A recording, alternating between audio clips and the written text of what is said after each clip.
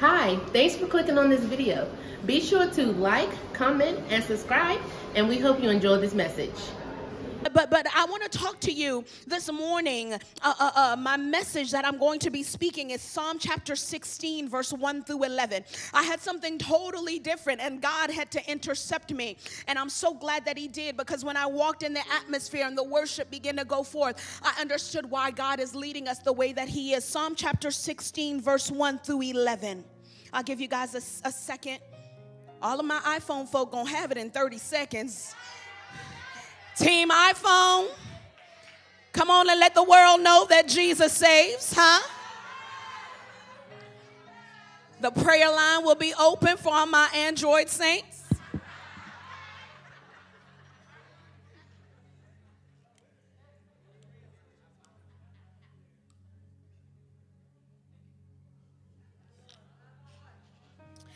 Preserve me, O God for in you I put my trust. My soul, you have said to the Lord, You are my Lord. My goodness is nothing apart from you.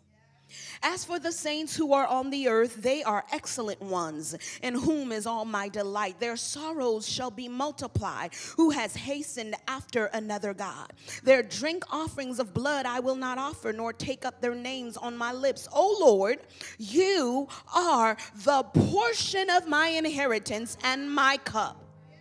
You maintain my lot. The lines have fallen for me in pleasant places. Yes, I have a good inheritance. I will bless the Lord who has given me counsel. My heart also instructs me in the night seasons. I have set the Lord always before me. Because he is at my right hand, I shall not be moved. Therefore, my heart is glad and my glory rejoices. My flesh also will rest in hope for you will not leave uh, my soul in Sheol, uh, nor will you allow your Holy One to see corruption. You will show me the path of life, uh, for in your presence is fullness of joy, and at your right hand there are pleasures forevermore. And I'm really going to be focused on verses 5 through 6, but there's so much in this text that is just so rich. You know, when he says, I have set the Lord before me. I have set the Lord before me. Setting something before you is literally like picking something up and you position it, you put it in a stationary location. What's interesting about that is when I read that, it takes me back in my spirit uh, to when God has an encounter, hallelujah, in the book of Exodus with Moses. And he says, Moses, listen, no man can see God and live, okay? But this is what I'm going to do. I'm going to allow my goodness to pass before your eyes. And then he further breaks it down so that Moses can understand that when he was saying, My goodness, uh, he was actually speaking about what was in back of him. He said, I'm going to let you see my backside, uh, as if to say, Listen, I already did it, I already took care of it. There are things that have already taken place in my past, but it's getting ready to be your future. And so when he says, I've set the Lord before me, he's saying the things that God has already perfected concerning me, the things that God has already worked out concerning me, the things that God, the ways he's already made. He said, I'm setting it before me. Some of us need to set the Lord before us today because you've been looking at the wrong thing. You've been focused on the wrong thing. Come on, you've been looking at everything that the enemy is saying and missing the fact that there are things uh, that God has already done. There are, hallelujah, adversaries he's already conquered. There are battles uh, he's already won.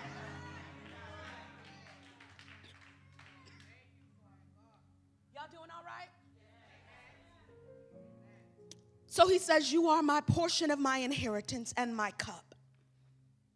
You maintain my lot, you take care of me. The lines have fallen to me in all the pleasant places. Now, the word pleasant means agreeable It means approved, designated, surpassing, commendable, affecting the mind agreeably, affecting the mind agreeably, affecting the mind agreeably. Do you realize that when somebody is having emotional and mental problems, uh, there is literally a disagreement in their soul? Your soul, hallelujah, is incongruent with the will of God. And so it causes for your mind, hallelujah, to be destabilized. And so when when when there's a there's something that is pleasant, hallelujah, happening in your life, it means that it's affecting your mind agreeably. So, the way that the spirit world or the spirit realm operates is that God establishes things, He sets things up, He formulates, He designs, He creates things. But then the enemy, what he'll do because he does not have the, the, the, the, uh, the power or the ability to create, he will simply hijack what God has taken or what God has done, what God has created, and he will pervert that thing. And so that means that if it is possible for you and I, as a child of God, to have a portion in God, right? A portion is something that has been set aside for you. So if I can have a portion in God set aside for me by God, what does that mean? It means that the enemy can also intend to have a portion that is demonic set aside for you. So, if it's possible for me to have a cup in God, if it's possible for my lines to fall in pleasant places in God, for me to have a good inheritance, then it is possible for the devil to hijack my destiny and to push the lines that were intended to be pleasant into unpleasant places. The intention of God is that your lines fall in pleasant places. Uh, but what the enemy does uh, is he hijacks you at the door, he hijacks you at the gate. Come on, we're in 5784. We've entered into the year of the open door. Come on, we are in the year of the gate. And what does the Bible say? The Bible says what? Hallelujah. It says that that that behold, I have set before you an open door. Come on, that no man can close uh, because you have obeyed my word. You have kept my word word uh, before you have little strength. Uh, and so the enemy understands the amount of energy, the amount of strength, uh, the amount of obedience it took for you to get to the door. And that by the time you get there, you're going to be tired, you're going to be exhausted, you're going to be worn out. And so he waits for the opportunity to hijack you after you've gone through all of this and you done got to the door. That's when he coming for you.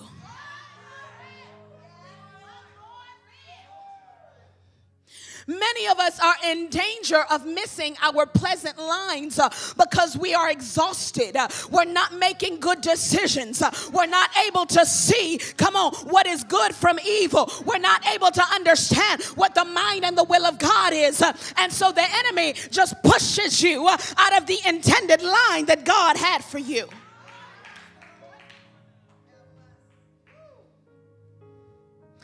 One of the things I love about supernatural ministry is that it can be so dynamic because it forces us to confront the fact that some of our lines have been hijacked and they have been pushed from pleasant to unpleasant places. And when I say lines, I want to make it very clear which lines I'm talking to you about this morning. I'm talking to you about your family line, I'm talking to you about your blood line. How many know or understand what a virus is? When you have back in the day, you know, when all of us was on them old school computers before the Macs came out, you would get a virus and your whole world would come crashing down because there was something foreign that insinuated itself uh, into your operating system, uh, causing you not to be able to function optimally. And so when it comes to your bloodline and your family line, what the enemy wants to do is he wants to hijack your ability to function optimally, to be in the earth who God intended for you to be. And so he hijacks your bloodline. And before you know it, instead of y'all being wealthy and influential, come on, you got uncles in the crack house. Instead of you being in ministry and serving the Lord, you got sisters and nieces uh, walking the streets. Instead of you being being in the earth who God has ordained you to be. You live below the privilege for which you were created.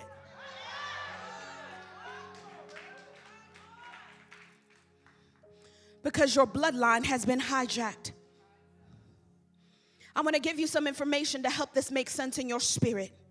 Listen, over 90% of sickness and different conditions that we experience in our body, scientists, medical science help us to understand that it is brought on or it is provoked by inflammation. Now, I'm still talking to y'all about lines. The scripture tells us in the book of Deuteronomy, chapter 28 and 29, that when the children of Israel became disobedient to God, that the curse that was a result of their disobedience was inflammation. When there was infidelity in scripture, we find that as the people would engage in infidelity and they would, you know, uh, uh, uh, they would break their marriage covenants, they would dishonor marriage covenants, that the result of that was a curse that would cause the abdomen to be enlarged and swollen. And it would also be a curse of miscarriage and barrenness that would hit the bloodline. I want to help this make sense to you in 2020 terms. What do you think a fibroid is? It is the swelling of the abdomen.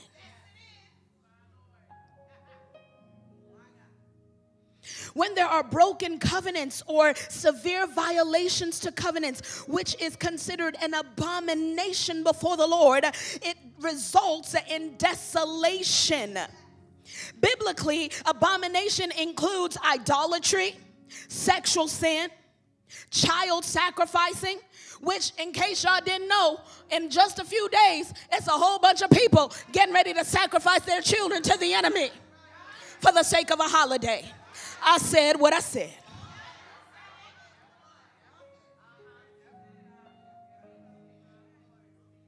Ooh, I just felt a shift. Somebody say, Devil, I ain't scared of you. That part. So, an abomination includes uh, sacrificing your children. The Bible calls it passing your children through the fire or offering them to Molech. Molech was a god that required that children be sacrificed in the womb. That is where we get our modern day word abortion. Abortion was actually a demonic act of worship in the Bible. I'm going to say again abortion was a demonic act of worship in the Bible where babies would be offered from the womb to a deity named Molech.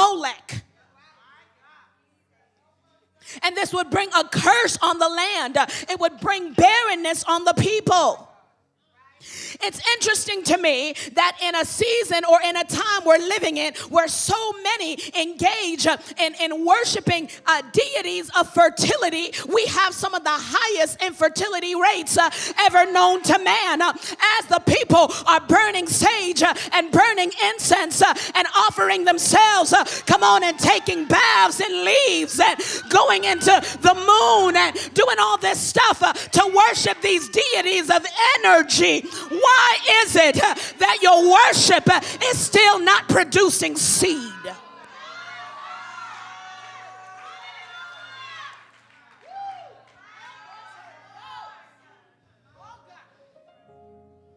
Oh, it's the high tide. It's the it's the high moon. So we're gonna get dressed in white and and we're gonna we're gonna go out and we're gonna stare at the moon and we're gonna call on the ancestors of, of fertility and blessing. But but but but but we still have the highest rates of infertility that have ever known that have ever been known to man as our worship of the demonic has increased, so has barrenness. My God.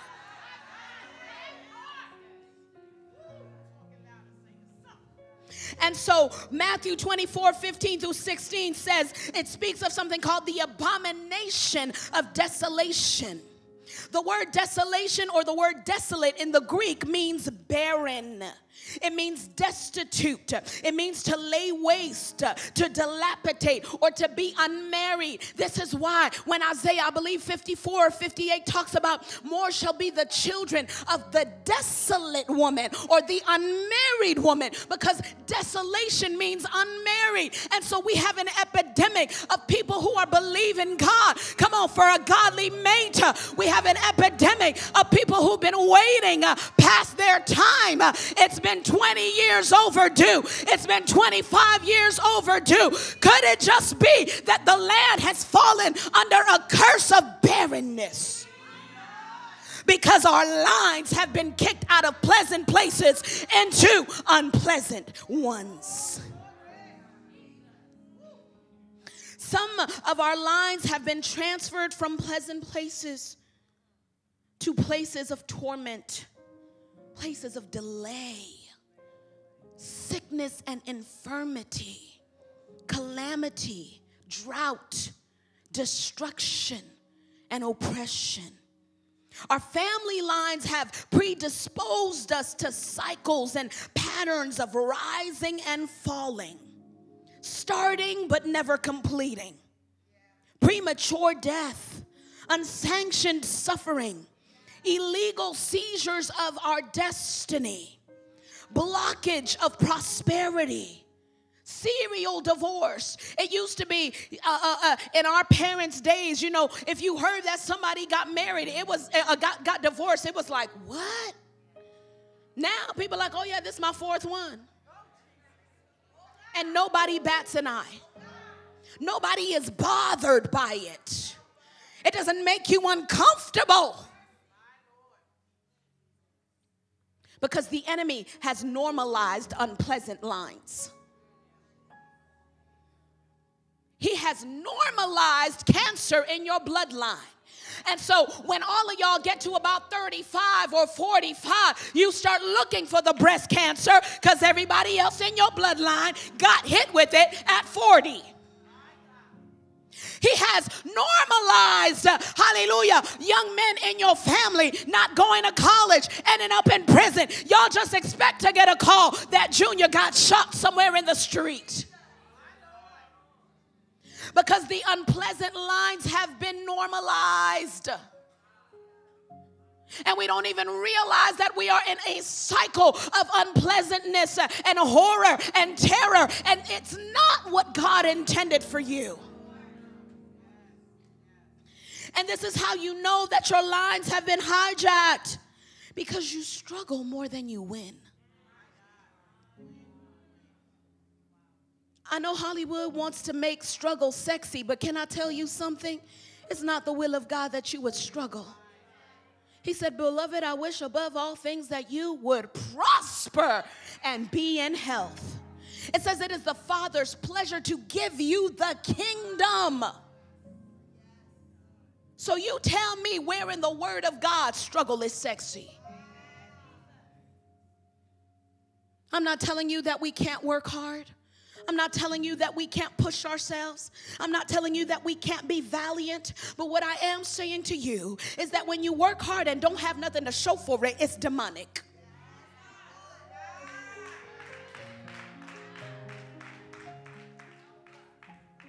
You know that your lines have been hijacked when you're cycling in scarcity. There's never enough. You make money and don't know where it's gone. I talked to somebody about a week or so ago that came to me crying. She says, I, I don't understand what's happening. I just, I just literally had a hundred thousand dollars that was given to me and my husband. And it's been a few months, and I literally don't know what happened. It's all gone. And she says, This just keeps happening. We get large sums of money. We build a business. We kick it off. It takes off. And then before I know it, all I have left are ruins. It's a cycle of scarcity. You know that your lines have been hijacked when you expect to fight for any ounce of success or favor or grace to hit your life. You're conditioned, hallelujah, to toil and to suffer. Your timeline has been delayed beyond normal. Iniquity is running rampant in your bloodline. Curses are landing on you left and right. Strange and mysterious con- occurrences, uh, including illnesses, are happening to you. They're happening to your children. Come on, you woke up and, and, and, and all of a sudden your perfectly healthy child starts having seizures out of nowhere. Of a sudden they want to put all these labels uh, on your perfectly beautiful baby. They want to tell you that they're developmentally slow. They want to tell you that they have Down syndrome. They want to tell you that they got a missing chromosome. They want to tell you all this stuff. Come on, that is not what God ordained for your life. Listen, this morning, God is about to disarm the devil. Did you hear what I said? I said, God is about to embarrass Satan in your life. He is about to make a public spectacle out of the devil. Why? Because the Bible declares, uh, hallelujah, that the people perish uh, for a lack of knowledge. The moment I know what I did not know before, the game is going to have to change. It says that when you find the thief, he's got to return to you. Proverbs chapter 6. Uh, sevenfold. Do you know, Pastor DJ, why people never acquire their sevenfold is because we don't know that we actually have to contend for it.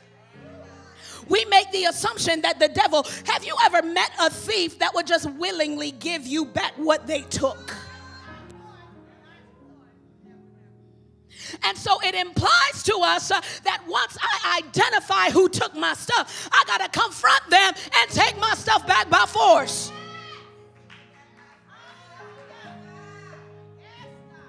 You don't go up there and say, "Hey, um, hi, I live across the hall, and um, I think you may have stolen my Nintendo system. Could you just kindly give it back?"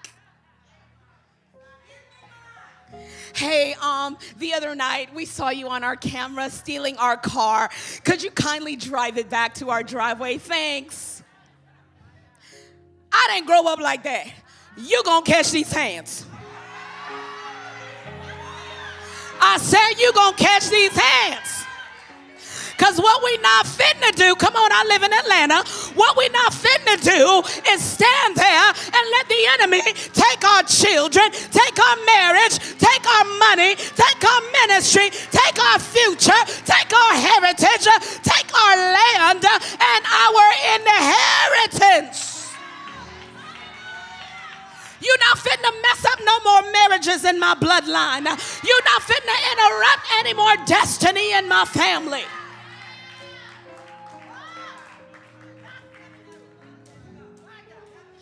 And here's what I need you to understand He says, You are the portion of my inheritance, right? What is an inheritance? An inheritance is property, it is something that is legally left to you.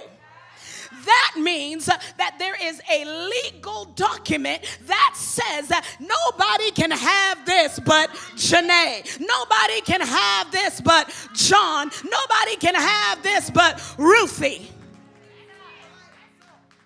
And so, and so it don't matter how nice I am. I can show up there and say, hey, I know Ruthie, and I know that all this house and all this money and all this land has been bequeathed to her. She's not here. I'm here to take it. It don't matter how good the people like me. They can't sign it over to me because legally,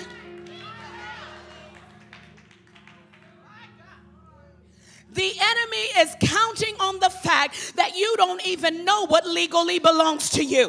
He is counting on the fact that you won't begin to ask questions uh, about why things are the way they are. He is counting on the fact that you'll just sit there and let somebody else die of cancer. He is counting on the fact that you'll just sit there and let somebody else get locked up in a mental hospital. He is counting on the fact that you'll sit there and begin to say things like, well, well, you know, in my family, we all tend to have a little anxiety. We all tend to have a little depression. We all tend to struggle with high blood pressure. We all tend to have man problems. You know, nobody stays married. He is expecting you to come into agreement with the faulty line. Is this helping anybody? I said, Is this helping anybody?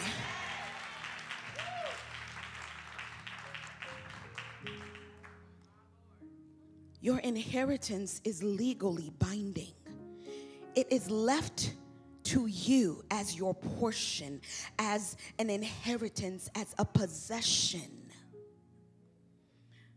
The Bible says in the book of Hosea that upon Mount Zion there shall be deliverance, and that Jacob will possess his possessions. Why? Because there was a season where Jacob had possessions that were not in his possession. You can have things that belong to you, have your name on it, but somehow, Lady Free, they're not in your possession. But God's getting ready to change that today. Ezekiel chapter 16, verse 4. Y'all give me about 10 more minutes and we'll start wrapping. Ezekiel chapter 16, verse 4 says this On the day you were born, your cord was not cut. And when it says cord here, it's speaking of an umbilical cord. Your cord was not cut, nor were you washed with water to make you clean, nor were you rubbed with salt or wrapped in cloths. No one looked on you with pity or had compassion enough to do any of these things for you. Rather, you were thrown out in the open field, for on the day you were born, you were despised. Then I passed by you and saw you kicking about in your own blood. And as you laid there in your blood, I said to you, Live. This is a prophetic picture that God is giving us, talking to us about the birth of his nation, his child, his people, Israel. He's saying, Listen, just so you understand how I found you, the condition you were in, uh, let me paint a picture. You were born, and nobody even cut your umbilical cord, uh, nobody cleaned you up, nobody showed you any kind of love or pity. They didn't even wrap you in a blanket, they just left you there dying in your own blood. Uh, Nobody helped you understand uh, you had an inheritance. Uh, nobody helped you understand that you came from something. You came from somewhere. You have a name. Uh, nobody gave you a chance to live. Come on. How many of us were born into situations where nobody gave you a chance? The scripture tells us that it is in the natural as it is in the spirit. So, in the natural, come on, you ain't got to be a, a, a, Harvard medical graduate to understand that when a baby is born, you got to cut their cord. We understand that in the natural. Why is it we don't get it in the spirit? Why is it we have full grown adults in the kingdom of God who still have a cord connecting them to their mama and their daddy's transgression? Why is it we have fully grown believers uh, who are still connected by a cord uh, of iniquity and transgression? And the same thing that happened to Uncle Juju is happening on repeat in your life. The same thing that happened to Uncle Susu keeps happening in your life because ain't nobody cut your cord.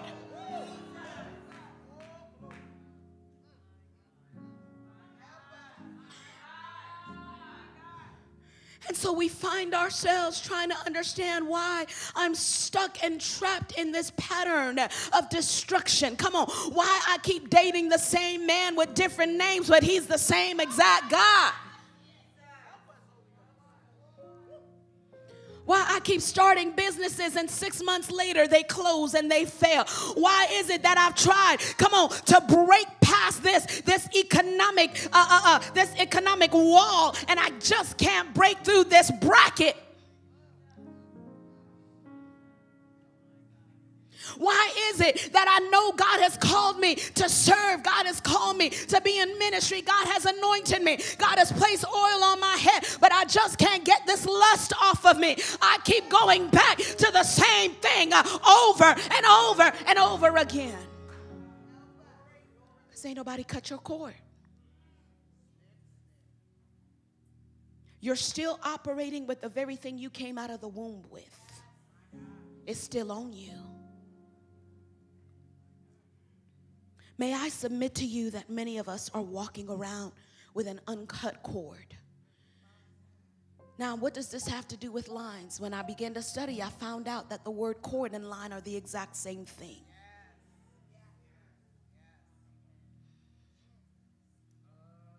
The lines have fallen for me in all the right places.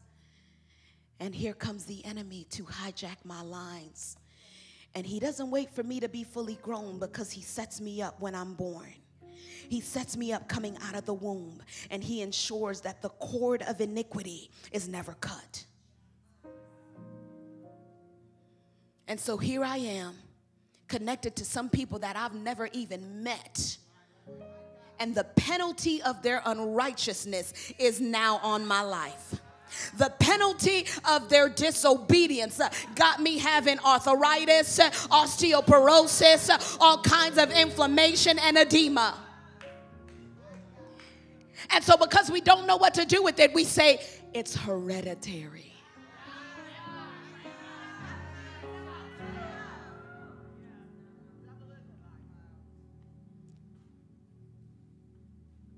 Give me five minutes. I feel the weight of God's presence. Lift your hands right quick. Just worship Him.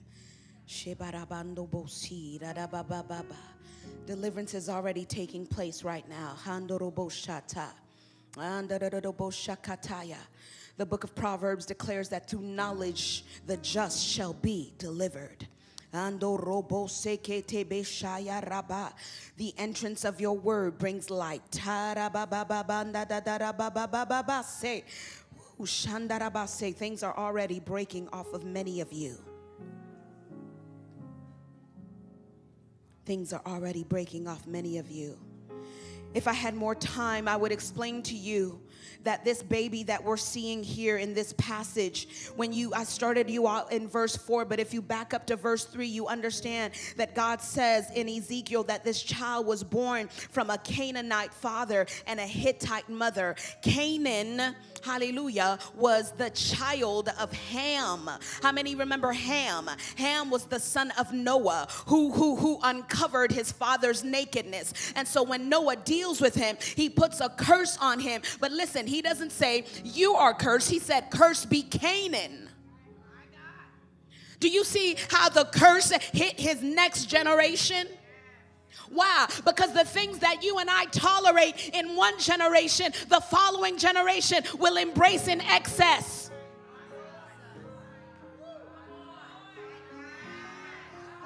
So you tolerating the enemy in this generation, he's going to have your children so bound with confusion. He's going to have your grandchildren so bound with sickness and disease. Uh, it will be normal to them uh, to be laid up in a bed and be on 17 prescription drugs. It will be normal to them uh, to believe that suicide is a solution and an answer because you refuse to deal with your cord.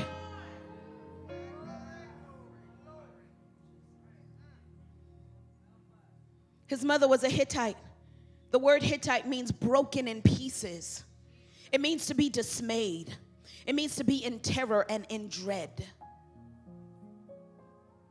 This was what was in his cord. This was the cord that had not been cut. Listen, today God is about to transform you because we're going to cut that cord. I said, we're going to cut that cord. I don't know what you've been walking through all year, but God waited. Here we are. Come on, almost halfway through the fourth quarter. We're getting ready to end this calendar year. And God is like, I refuse to allow you to step and cross into another year with a cord that has not been cut. I refuse to allow you to step into another year with the hand of the enemy on your life. I refuse to allow you to step into another place in your life with the devil's foot on your neck. We're going to cut this cord. We're going to engage. I don't know if we need to do it down here. Y'all bring it down here. We're going to engage in a prophetic act. I don't know how we need to do this. But but this is literally just a, like a jump rope uh, uh, uh, uh, from the store. And, and and as a prophet, one of the ways the Lord deals with me is we oftentimes will engage in prophetic acts. On the out on the outside, it is it is a representation, hallelujah, of our obedience and our faith. that as we jump over this line, that our lines that have been in the wrong place is getting pushed back to where it was ordained to be. Come on, the thing that's been out of place in my life uh, is getting ready to return to where God intended it to be. Come on, my ministry is coming back in the right alignment. Uh, come on, my church uh, is coming back in the right alignment. Uh, my marriage uh, is coming back in the right alignment. Uh, my destiny is coming back. My finances, it's coming back. Somebody is getting ready to get your mind back. You getting ready to get your mind back. You getting ready to get your mind back. Come on and shout in this place.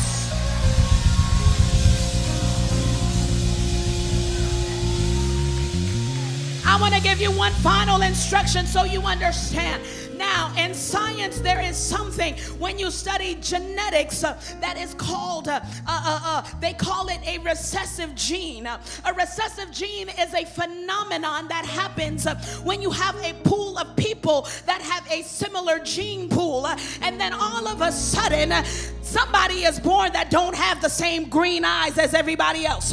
All of a sudden, somebody is born that don't walk like everybody else walk. Somebody is born who got got a different hair color that everybody else has had. Uh, why is that significant? Because when that happens in science, uh, they say that a line has been skipped, uh, they say that a gene has been jumped over. And so I just came to let about a hundred of y'all know that you getting ready to jump the generational line. Oh, Shekorabanda Haya. I said, God is getting ready to interrupt the cycle. God is getting ready to break the curse. God is getting ready to snatch you out.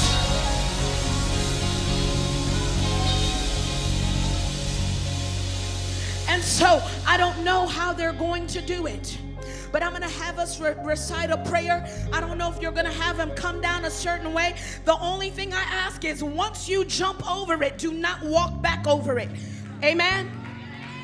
So if you're going to come this way and then go that way, do not walk back over it. So, however, we want to line people up, however, y'all want to do it, thank y'all for being gracious. Thank y'all for being gracious and following uh, the instructions of the, the serve team. But as you're doing that, I want you just to repeat after me Father, in the name of Jesus, I thank you that it is the truth I know that sets me free. The truth I know sets me free. The truth I know sets me free. And in the name of Jesus, I sever every tie. I cut the cord to every demonic system, every evil altar, every generational curse that has connected me to my mother's side. And I want you to speak your mother's name. And I want to cut the cord to everything connecting me to my father's side. Speak his name. And if you don't know who your uh, biological parents say, you can just say to my parents. That's all right too. But repeat after me in the name of Jesus, I exercise my priestly authority. I adjudicate. I legislate. I pronounce. I announce. And I prophesy that the cord is broken. My lines are restored my lines are restored now, now, now, now, in Jesus' name. Now, as you begin to march, follow instructions. I'm going to have maybe three of you jump at the same time. We can probably have, which way are they coming? That way, so three of you line up at the same time and jump at the same time. Come on. In Jesus' name, jump that line. Go ahead. Come on, come on, come on. Hurry, hurry.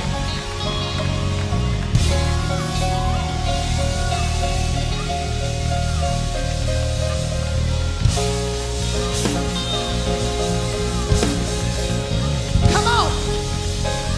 Your whole family, your whole family's coming out. Your children are coming out. Yep.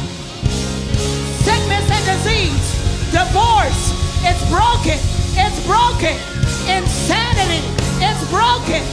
Mental instability, it's broken. Lust, it's broken.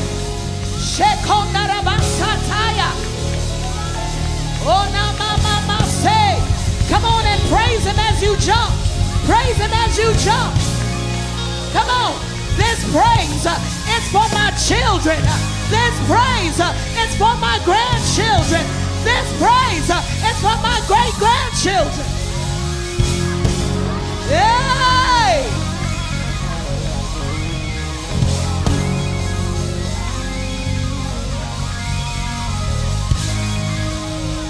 God says, as you're jumping, tumors are shrinking. I said, as you're jumping, help! Tumors are shrinking.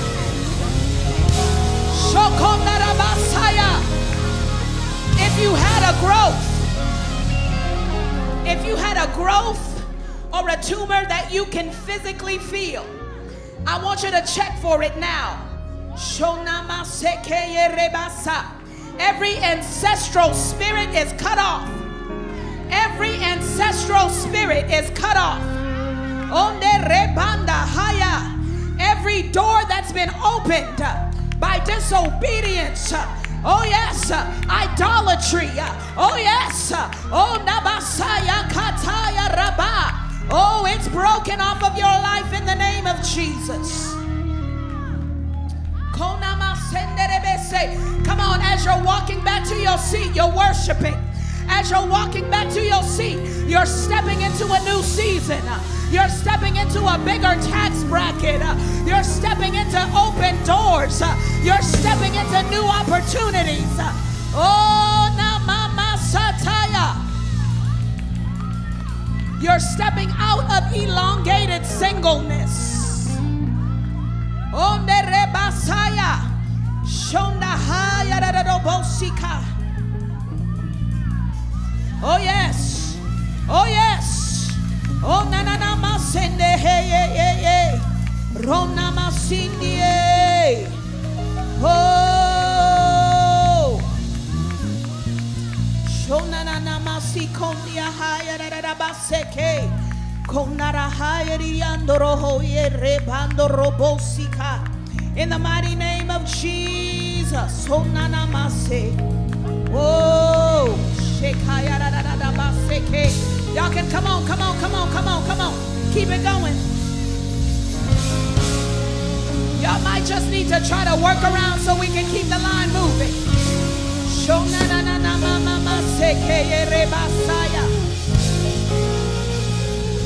Strongholds are breaking. Come on, y'all. Come on, come on. Two or three of y'all at a time. Let's go. Let's go. Yes. Let's go. Come on. Come on. Step into a new season. Step into a new season. Oh, Nabaratabaseke. Increase. Increase. Increase. Shokondarabasaya. Man of God right there about to jump. Look at me. This man of God right here. God wants you to know that the demons that took your father's mind and the demons that got in the way of the purpose of God for your father will not touch you. God wants you to know that the portion that was assigned to your father that he was not able to fully lay hold of is getting ready to come upon you in this hour. And the Lord says, You shall have double in the name of Jesus.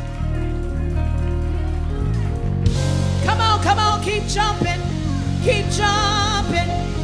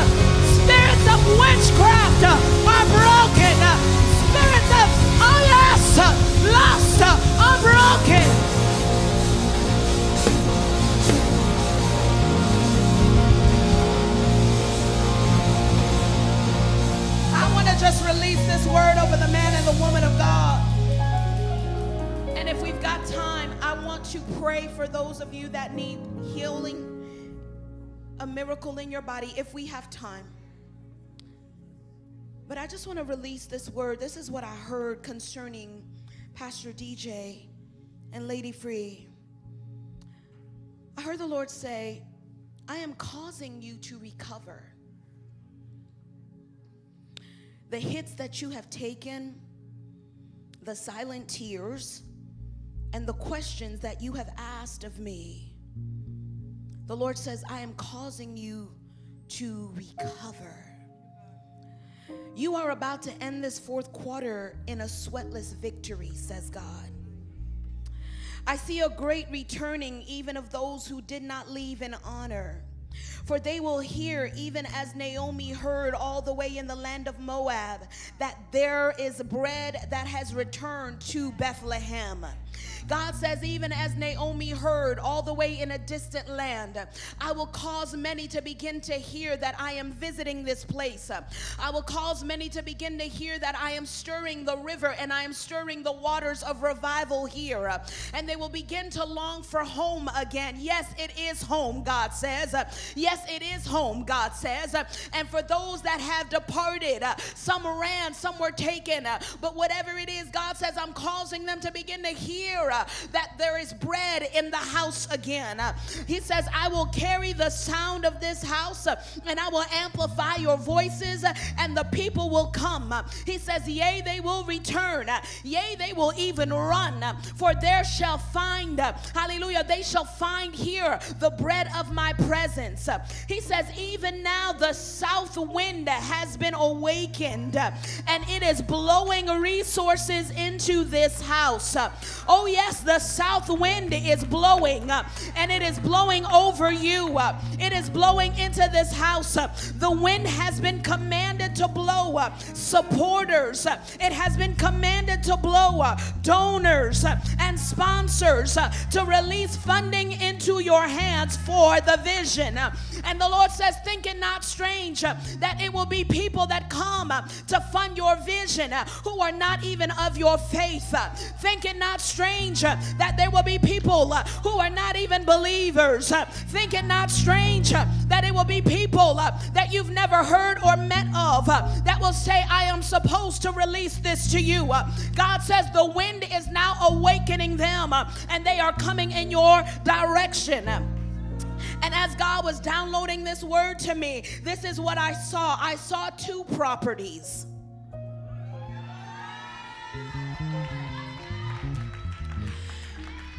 And I began to see it, it- it's as if they will come one on the heels of another. It's, it's, it's, it's almost as if when you acquire the first, before you're even done getting set up real good, God will release the next and it's going to happen very rapidly. The Lord wants you to begin to prepare for what you will do with the territory. And so God says, Tell them, uh, prepare the manuals. Uh, he says, Tell them, uh, prepare the programming. Uh, he says, Tell them, uh, prepare for the arts education. Uh, he says, Tell them, prepare for the after school and the summer enrichment.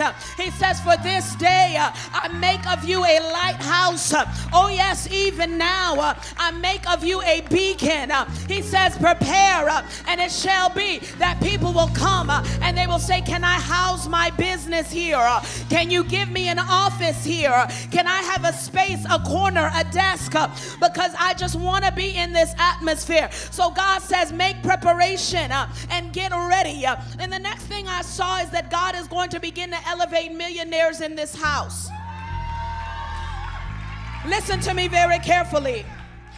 That is a word I'm very careful to release. I understand the, the that part of my prophetic mantle. I carry a very heavy a, financial mantle. I met a man a couple of months ago out of nowhere. I'd never seen him. And the Lord said to tell him he was a minister. He was pastoring a church. The Lord says, I'm calling you away from your pulpit in the way that you have led in your pulpit. And I'm getting ready to call you into government, even in another nation. And, and, and God had been dealing with him about that for months. And he had not done it because he was like, first of all, what are we going to do with all these people? And second of all, I don't have money to do what you're calling me to do. And the Lord says, tell him that I'm getting ready to fund what I told him I would do. I promise you, I can show you text messages in my phone where about the man found me, him and his wife found me, and he says, We need to speak to you and your husband about a month and a half, two months after I gave him this word. He says, I can't explain this to you, but a man, a white man that we do not know, reached out to us and said he's been having dreams about me. He's been seeing my face in his dream. And so he started looking for me started looking for me and ran across me somehow. And this man contacted me and he says, Listen, whatever it is that your dream is that you're supposed to do, I'm supposed to fund it. And so I want to release funds into you. And so he was like, Okay. And he's thinking the man is going to give him a $5,000 check, a $10,000 check. The man gave him a hundred million United States dollars. I said, A hundred million American dollars. I can show you the text in my phone. And so I'm very mindful of the financial mantle that we carry. And so when I release that into this house, uh, because I see it and I hear it, that God is raising up millionaires in this house. Here's the thing when God raises you up to that dimension, it is not for you.